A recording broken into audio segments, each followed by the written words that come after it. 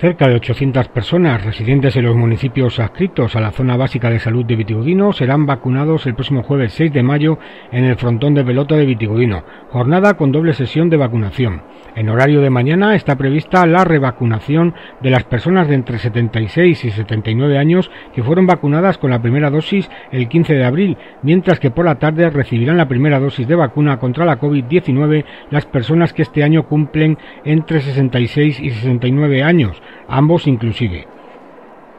Asimismo, en el horario de mañana recibirán también la vacuna una veintena de personas de más de 80 años y vacunadas con la primera dosis el 13 de abril, que este martes se quedaban sin ser revacunados debido a que desde Salamanca no se proporcionó al equipo de vacunación las dosis de Pfizer necesarias de acuerdo al número de personas vacunadas el 13 de abril. Como en las anteriores convocatorias, no se realiza llamada de cita previa. La jornada de vacunación matinal comenzará en el frontón de pelota de Vitigudino a partir de las 11 de la mañana, con las personas nacidas en 1942, para proseguir según el horario previsto. Y ya por la tarde, a partir de las 15.40 horas, se procederá a la vacunación de los nacidos entre 1952 y 1955.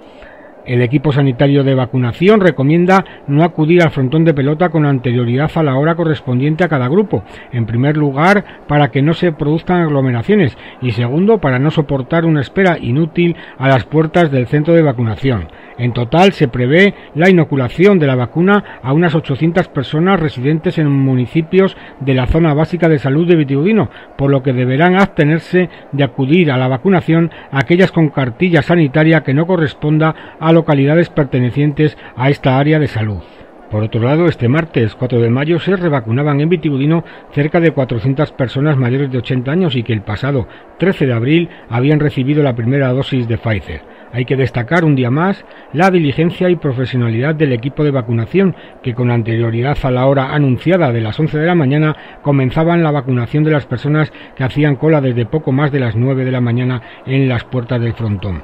Esto, unido también al buen trabajo realizado por los voluntarios de protección civil de Vitigudino, evitó que en las horas posteriores no se formaran aglomeraciones, ni tan siquiera pequeñas colas, pues a medida que las personas llegaban al frontón de Vitigudino, entraban directamente sin esperas en las líneas de vacunación para ser revacunados. La única incidencia negativa es que las últimas 20 personas en turno deberán volver el 6 de mayo para ser revacunados, pues el equipo sanitario no recibió en Salamanca las dosis necesarias de vacuna de acuerdo al número de personas vacunadas el 13 de abril.